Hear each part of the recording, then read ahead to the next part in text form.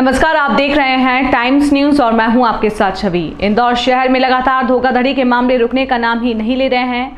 ऐसा ही एक मामला इंदौर के भवरकुआ थाना क्षेत्र का सामने आया है, जहाँ ज़्यादा मुनाफे के चक्कर में युवती भी ठगी का शिकार हो गई। वहीं पुलिस ने मामला दर्ज कर जाँच शुरू की है। दरअसल पूरा मामला इंदौर के भवरकुआ थाना क्षेत्र का है, जहाँ पीड़िता मीनाक्षी ने थाने पहुंचकर शिकायत दर्ज कराई है कि पैसे डबल करने का लालच देकर मैंने अज्ञात युवक को बानवे हज़ार रुपए दिए थे, जिसके बाद युवक द्वारा ना ही मेरे पैसे डबल किए गए, ना ही मेरे रुपए लौटाए गए।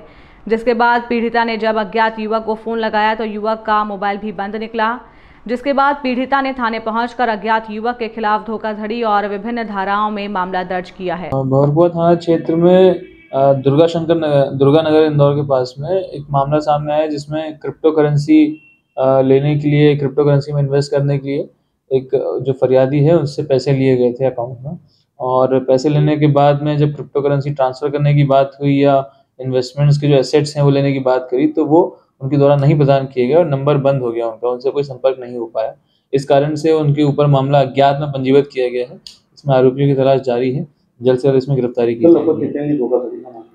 बानवे हज़ार नाइन्टी टू थाउज़ेंड रुपीज़ की इन्वेस्टमेंट उसने करी थी जिसके बाद उसको पैसे वापस नहीं मिले और ना ही उसके एसेट्स उसको मिले हैं। टाइम न्यूज़ देखिए अब आपके मोबाइल और स्मार्ट टीवी पर। लाइव प्ले स्टोर से डाउनलोड करें।